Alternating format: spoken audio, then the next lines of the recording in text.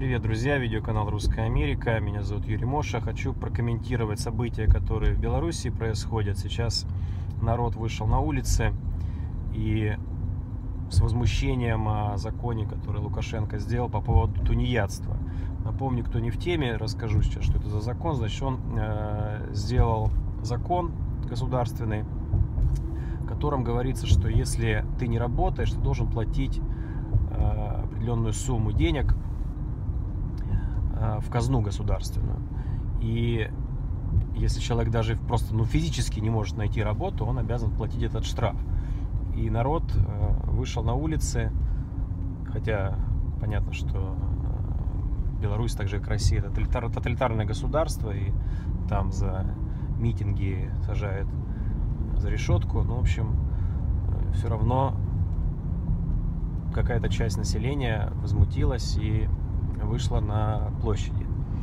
Я сейчас пытаюсь вот связать вот этот закон с э, получением политического убежища в США. То есть я даже сегодня специально проконсультировался с адвокатом миграционным, с которым мы сотрудничаем, и спросил, вот если у человека такая ситуация, он потерял работу, и государство его, ну, как бы штрафует и там, в принципе, даже если ты, по-моему, штраф не платишь, э, поправьте меня, белорусы, пожалуйста, в комментариях, если я ошибаюсь.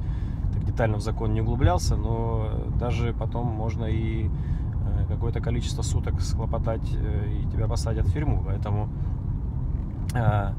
если ты избегаешь как бы, выплаты штрафа, который тебе дают.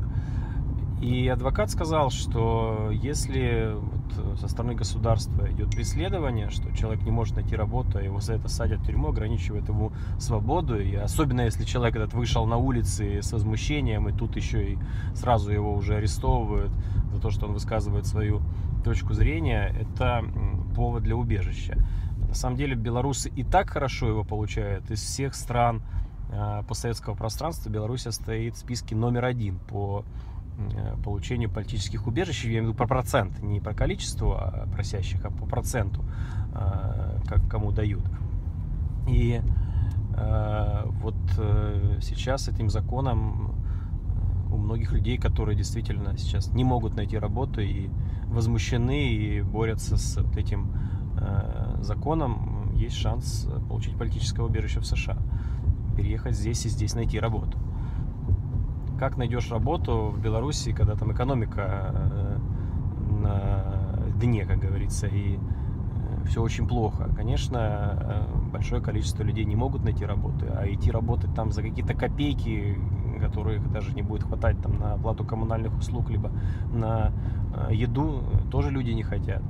В общем, Лукашенко, конечно, этим законом сделал, сделает так, что просто еще определенная часть белорусов уедет э, в Европу, либо в Соединенные Штаты, либо какие-то другие страны. И так в Беларуси активная иммиграция. Мы даже по, по своим клиентам ощущаем, что огромное количество людей из Беларуси уезжает.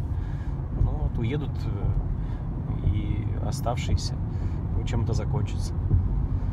Если у вас есть какие-то вопросы по иммиграции, по э, визовым вопросам, по каким-то вопросам социальной адаптации в Америке, пожалуйста, набирайте наш Viber, WhatsApp, плюс 1 347 265 61 86. У нас, кстати, есть офис в Минске, недавно мы его открыли, можете зайти в раздел «Контакты» на нашем сайте Russian America VS и посмотреть э, контакты офиса в Минске.